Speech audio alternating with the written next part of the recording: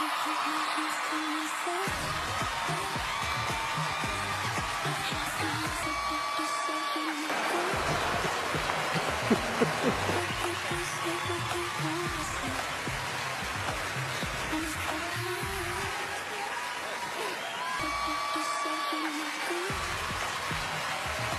you guys so much.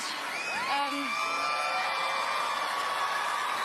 in 2000- Keep my wife's fucking mad!